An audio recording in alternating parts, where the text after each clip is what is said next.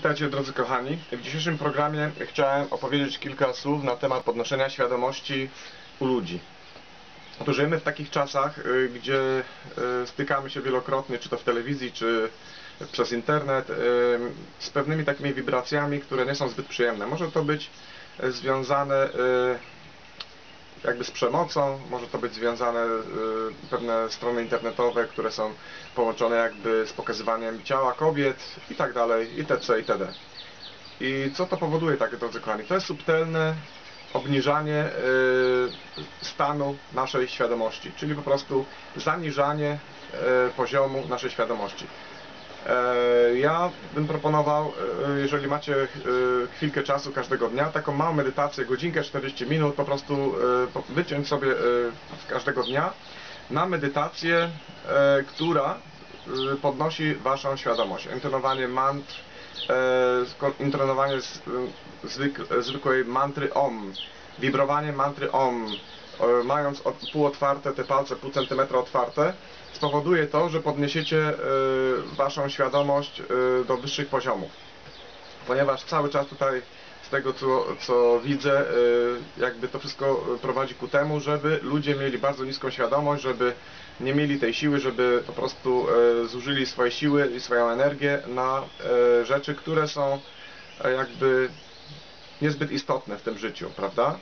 Dlatego naszą energię musimy e, jakby kanalizować przez specjalne kanały mentalne, e, kanalizować w taki sposób, żeby e, pozytywnie rozwijać naszą świadomość, żeby w pozytywnym kierunku, nie koncentrować się na rzeczach błahych, nie koncentrować się na rzeczach, które po prostu nie są istotne dla naszego życia, a raczej musimy koncentrować się na rzeczach, które są istotne dla naszego rozwoju duchowego. Czyli kiedyś, daw, dawno temu, wiele, wiele lat wstecz, y, były takie tak zwane modlitwy.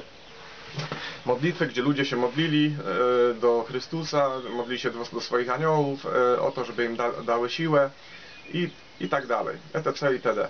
I teraz e, po prostu to powo- powoli zanika. Ja e, chciałbym powiedzieć, że jest dobrze rozmawiać e, ze swoim własnym aniołem stróżem, że jest dobrze po prostu e, z rozmawiać z przewodnikiem duchowym. Każdy z takiego przewodnika duchowego może sobie wybrać, czy to jest jakiś e, osoba święta, czy to jest jakiś anioł, czy jest to jakaś osoba, która jest na przykład z Indii, czy to jest Rama, czy to jest Hanuman, czy to jest jakakolwiek wielka osobowość, czy to jest Rama. I dzięki czemu, dzięki tym rozmowom z, z przewodnikami duchowymi możecie, drodzy kochani, podnieść waszą świadomość i ci przewodnicy duchowi będą was chronić przed wszelkie- wszelkiego rodzaju niebezpieczeństwami, które czyhają w tym świecie materialnym. A takich niebezpieczeństw, e, które czyhają w tym świecie materialnym jest na każdym kroku bardzo wiele.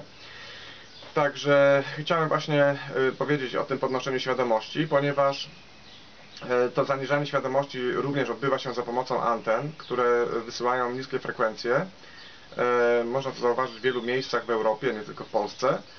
I po prostu, żeby być silnym, żeby medytować o wzmocnieniu e, wła- własnej energii, własnego pola energetycznego, czyli po prostu e, medytując, iż posiadamy silne pole energetyczne, które nas chroni, wizualizując sobie to pole i medytując nad tym polem, możemy stworzyć pewną taką aurę, która y, będzie nas naprawdę tak chronić przed y, oddziaływaniem zewnętrznym y, negatywnych czynników. Także bardzo istotna jest ta medytacja, bardzo istotna jest taka koncentracja w medytacji, jak również intonowanie y, poszczególnych mantr. Ja na przykład wcześniej mówiłem już na poprzednich filmikach, że intonowanie mantry Radę, Radę, Siama, Radę y, oczywiście nas bardzo wzmacnia duchowo.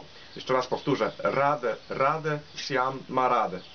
To jest właśnie mantra, która nas wzmacnia duchowo, która powoduje jakby wzmocnienie naszych komórek, wzmocnienie naszego systemu odpornościowego na wszelkiego rodzaju y, historie zewnętrzne, negatywne, które po prostu mogą się nam y, przytrafić w drodze w jakimkolwiek miejscu, czy to jest autobus, czy to jest jesteśmy gdzieś na plaży, czy mogą przytrafić w lesie, ponieważ w tych miejscach właśnie są byty, w tych miejscach są duchy, które tak naprawdę mogą nas posiąść, mogą wejść do naszego ciała i mogą e, jakby mm, zniszczyć ten piękny ogród, który jest nasze ciało, e, ogród, który jest pełen, pełen dobrych uczuć, pełen dobrych e, sentymentów i myśli i po prostu mogą zdewastować ten piękny ogród, który jest na, którym jest nasz umysł, który jest naszym ciało, nasze ciało.